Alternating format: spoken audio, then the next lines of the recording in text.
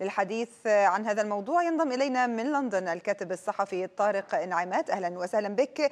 يعني من الواضح أن طريق المفاوضات ما زال طويلا والخلافات ما زالت موجودة ونتحدث عن خلافات كبيرة ليست بالسهلة خصوصا بما يتعلق بالتوصل لاتفاق تجاري ضمن بريكسيت وبموضوع الصيد البحري. برأيك سيد طارق هل سيقدم أي طرف تنازل في هذه الملفات العالقة؟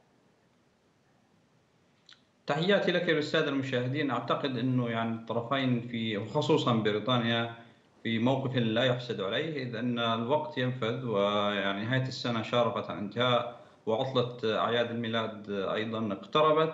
وهناك القليل من الوقت لحسم كثير من القضايا العالقة منذ سنوات حيث أن قضايا الصيد البحري وآلية فض النزاعات وغيرها من القضايا التقنية المتعلقة بالحدود الأيرلندية يعني يصعب حسمها إذ أن بريطانيا لا تريد أن تظهر أنها هي التي تنازلت للاتحاد الأوروبي. وأصلا البريكزيت جاء كنوع من التحدي أو ما يسمى هو السيادة الوطنية عودة بريطانيا لسيادتها الوطنية وعدم خضوعها لقوانين الاتحاد الأوروبي. وبذات الوقت الاتحاد الأوروبي يريد أن يحمي مصالحه الاقتصادية والمصالح المتعلقة بالسوق المشتركة الأوروبية. هل هذا يفسر سيد طارق يعني التشاؤم الذي عبر عنه جونسون في ظل ربما تفاؤل عبرت عنه بعض دول الأعضاء للاتحاد الأوروبي؟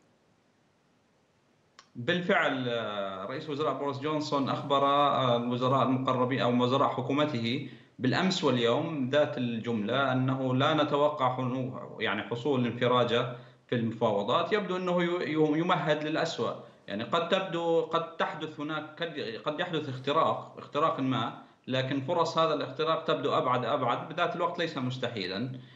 وهو عادة جونسون أن يهيئ للسيناريو الاسوء وطبيعة الحال السيناريو الاسوء هو الخروج بدون اتفاق. عندها ستخضع بريطانيا لقوانين منظمة التجارة العالمية وهذا يعني زيادة تقدر ب 30 من 20 ل 30% على سلع التجزئة على سبيل المثال. يعني هناك تقديرات تقول أنه 3 مليار دولار ستفرض على السلع زيادة وهذا ينعكس على المستهلك البريطاني مباشرة. ربما بريطانيا لا تريد هذا لا تريد يعني أن يحس المواطن البريطاني الذي صوتت أغلبيته الضئيلة يعني ليست أغلبية كبيرة للبريكزيت. أن الخروج من الاتحاد الأوروبي جلب مزيدا من المعاناة الاقتصادية خصوصا أن السنة لم تكن مثالية لبريطانيا وللعالم أجمع مع انتشار فيروس كورونا وتباطؤ الاقتصاد. أعتقد أن الطرفين خصوصا بريطانيا في وقت حرج.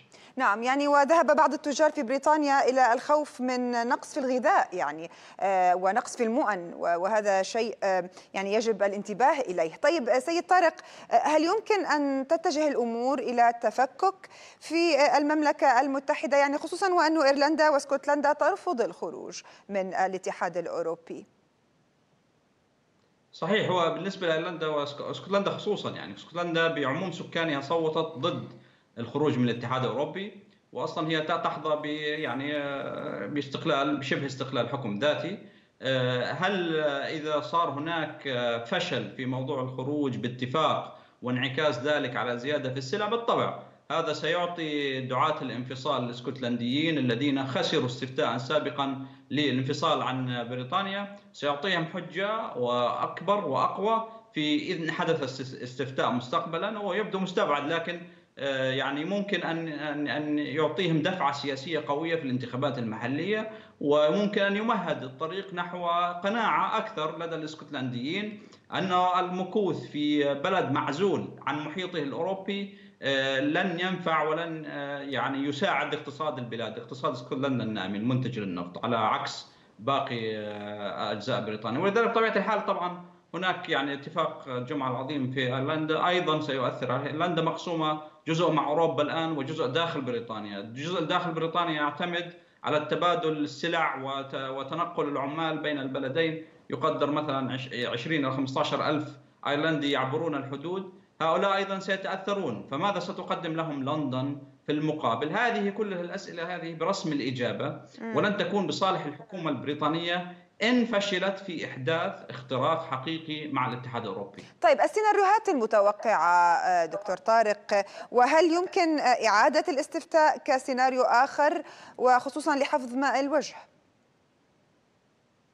إعادة الاستفتاء ربما قد فات عليها الوقت لأنه هو طرح بالفعل هذا الموضوع فشل أولا مثلا على مستوى حزب العمال المعارض كان يتبنى هذا الموضوع يعني كمخرج أخير لكنه فشل في الانتخابات على مستوى الناحية القانونية يعني نظريا يمكن لكنه عمليا صعب لأنه هذا يستتبع دخول البلاد في أزمة أخرى والأغلبية التي صوتت لحزب المحافظين اعتبرت أنها رسالة أن امضوا في موضوع الخروج من الاتحاد الأوروبي. لكن بذات الوقت هو هذا التفويض ليس للخروج من الاتحاد الأوروبي بأي ثمن.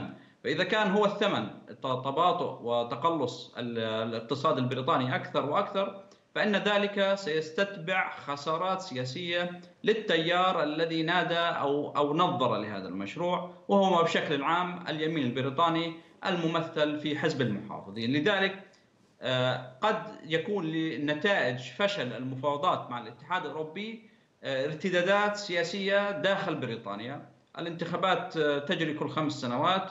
هل ستحدث انتخابات مبكرة؟ لا أحد يعلم.